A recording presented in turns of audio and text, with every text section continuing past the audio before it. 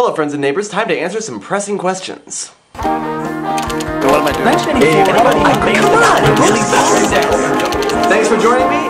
What are you filming for? How bad are your eyes? Bad. Any chance of a song in the somewhat near future? I'm actually planning on writing one for the Fizzy Olympics. Stay tuned. What do you think about the Chronicles of Narnia? I think the early books are incredibly creative and imaginative. I think the later books are entirely too preachy. What is your all-time favorite episode of Star Trek, any series, and why? I think my favorite episode is All Good Things, the final episode of The Next Generation, because it involves time travel and it ends up the series nicely.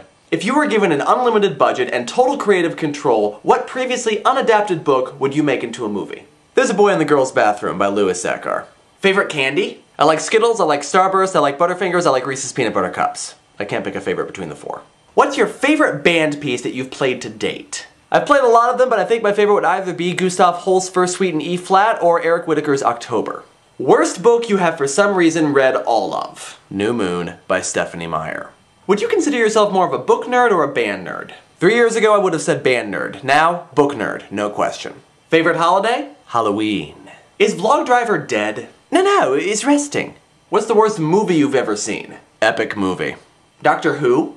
Uh, doesn't he play first base? Favorite stand-up comedian? Either Bill Cosby or Jim Gaffigan. Favorite Monty Python sketch? Them days we're glad to have the price of a cup of tea. All right, a cup of cold tea.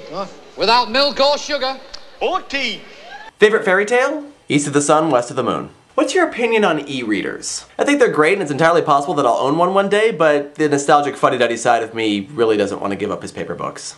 What do you think is the most important thing to do during NaNoWriMo, other than write? Know when to step away from the story for a while. Sometimes you'll come up against a wall and the only thing to do is just walk away for a few hours and do something else and then come back to it fresh. What is your favorite word? Well, I'm quite fond of the word ubiquitous, as many of you know, but I'm also fond of a new word that I just learned recently, demonic.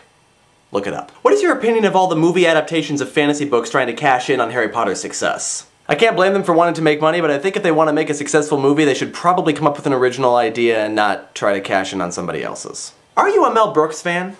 Eh, yeah, yeah, I am. What is your least favorite genre? Inspirational fiction. Favorite Harry Potter character? Sally Ann Perks. No, for serious, Luna Lovegood. I mean, come on. How old are you? 26. Is C.S. Lewis anywhere on your favorites list? No, sorry. What initially sparked the idea for the favorites list? I honestly can't remember. I think I just wanted to reread some of my favorite books and then I decided to make a project out of it. Just kind of how my brain works. You're trapped in a Disney movie for the rest of your life. Which one is it? Candleshoe. Waffles or pancakes? Waffles. Could you wear all of your hats for the rest of the Q&A? Yeah, sure. What was your first NaNoWriMo novel about? It was basically a poorly done ripoff of The Matrix, which is best forgotten. What inspired you to write Last Places?